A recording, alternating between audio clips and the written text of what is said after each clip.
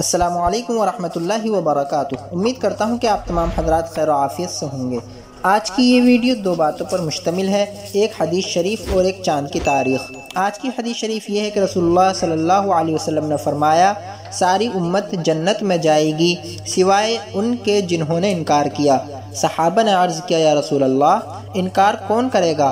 फरमाया जो मेरी इतात करेगा, वो जन्नत में दाखिल होगा और जो मेरी नाफरमानी करेगा, उसने इनकार किया। और आज का कैलेंडर ये है। आज हिंदुस्तान, पाकिस्तान, बांग्लादेश और आसपास के मुल्कों के अंदर चाँद की तारीख है। 28 रबी अव्वल सन चौदह सौ चौवालीस हिजरी।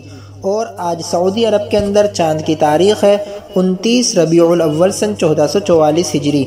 और आज अंग्रेज़ी तारीख है पच्चीस अक्टूबर 2022 ईस्वी। और आज जो दिन है, वो मंगल का दिन है, यानी ट्यूसडे। रोज़ाना चाँद की तारीख देखने के लिए इस्लामिक डेट चैनल को सब्सक्राइब कीजिए। वालेकुम वरहमतुल्लाह।